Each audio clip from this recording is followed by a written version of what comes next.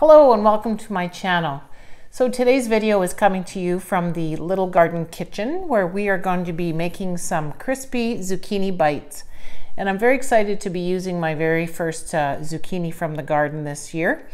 Uh, you can also use ones brought in from the store or from the market garden. So let's get started and let's get making some crispy zucchini bites.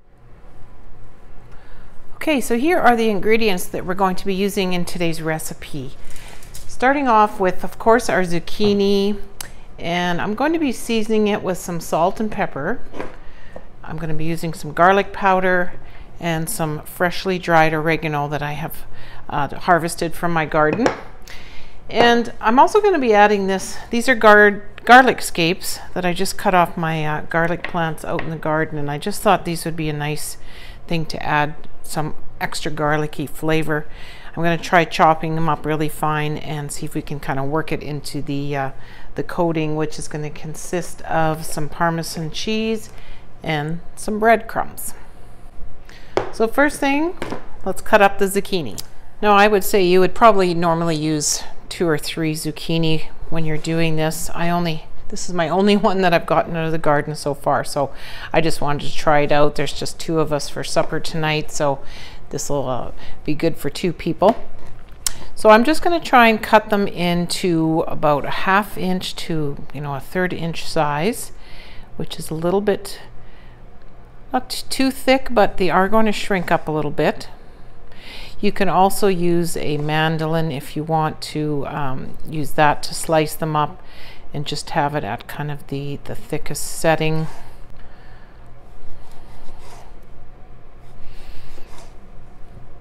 So you can just see here how thick I'm doing these.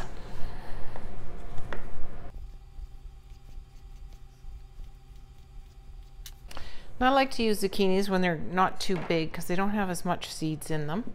So this is just a good size right now and I'm going to be using my you can use paper towel but I'm going to be using my reusable cotton towel here just to try to get a little bit of the moisture out of them before we start cooking. If you've used cooked with zucchini before you know that it releases a lot of moisture. So whatever you can get out of it before cooking is always good. So by doing the salt on it right now that will also help to draw out a little bit of that extra moisture. So I'll just let that sit here while we get the rest of the stuff ready. Cover it up with another layer of cloth and just let it absorb a little bit of that moisture. So the oven should be turned on to 400 degrees Fahrenheit and I'm going to be lining my cookie sheet with tin foil. You could also use parchment paper. I'm also going to be using olive oil to coat the uh, zucchini so that everything sticks to it. Just going to sprinkle a little bit here on my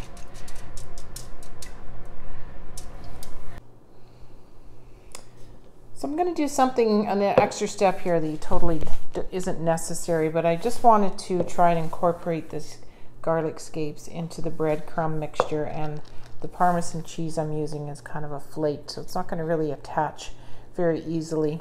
If you were shredding your Parmesan into a finer uh, shredding, it would probably work okay just to mix it right in with the breadcrumbs and coat your uh, zucchini with it. But I'm going to blitz it a little bit in my magic bullet just to make a, a really nice fine coating.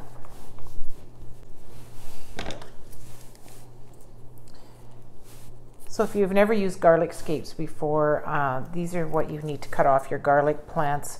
When they start to curl like this, it means your garlic plant is um, shooting out a, a flower kind of thing and going to seed. So you chop these off and then all the energy goes back into the bulb of your new um, garlic plant and usually that means it's going to be ready to harvest soon. So, so these are great to add to your cooking.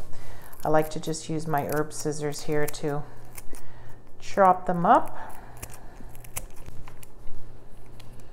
So I'm going to add just uh, about three of them into this breadcrumb mixture.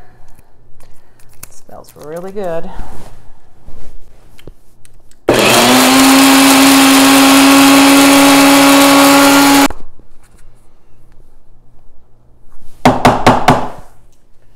So the zucchini has been sitting in the cloth here for about 10-15 minutes. Absorbed a little bit of the moisture. Now we're just going to throw it into this container and get it coated up.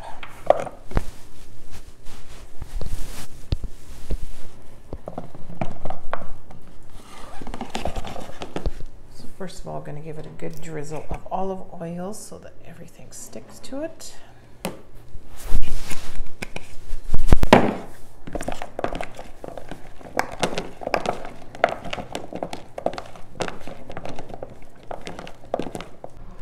Okay, so we got this all coated. Let's add a few more seasonings now.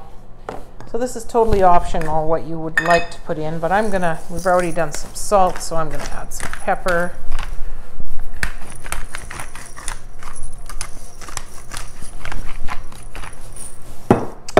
And garlic powder. So I got those garlic scapes. I won't add as much as maybe I would normally.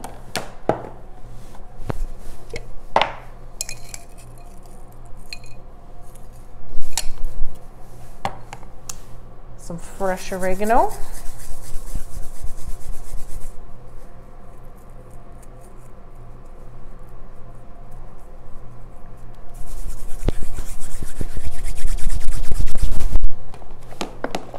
Stir that up to get it kind of coated. That oregano smells great.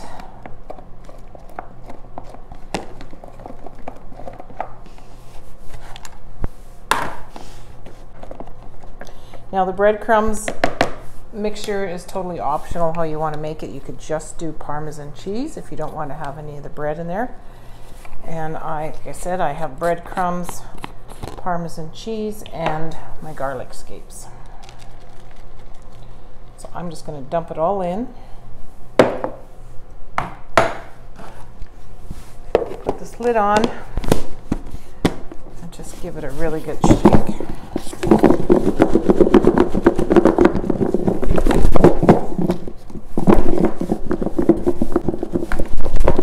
Sure I'm going to wish I had more than one zucchini tonight, but this will be a nice taste test for the first garden zucchini of the year.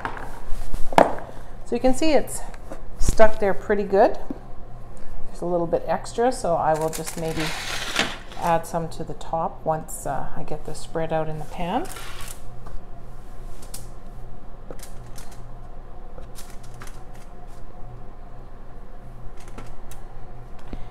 kind of press it in to make sure it's sticking really well.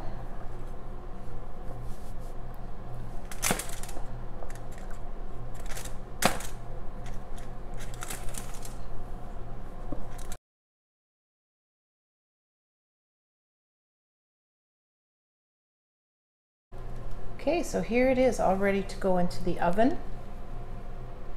I'm going to be putting it in there for about 20 minutes and probably checking it about halfway through just to give it a little bit of a stir, maybe flip them over, see how they're doing and if they're uh, browning up and crisping up. Smells amazing.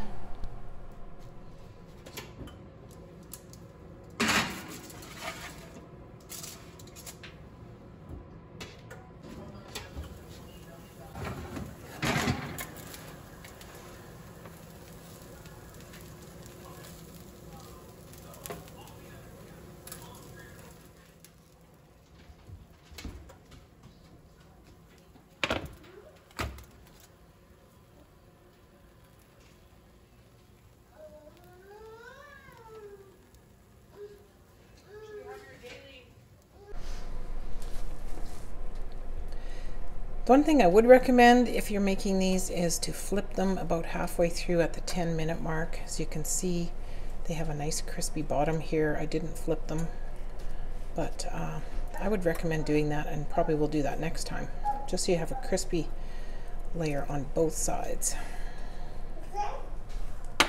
Okay, we are going to test out the spicy zucchini bites. You look excited. What do you think? give them a taste.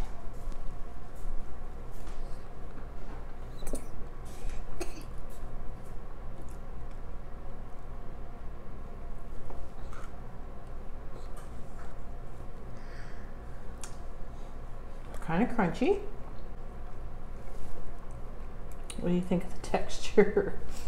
They've got a nice garlicky flavor. I don't think you like them. Try one more. Mmm, that one's crunchy. Hmm? This one. Oh. That's a good one.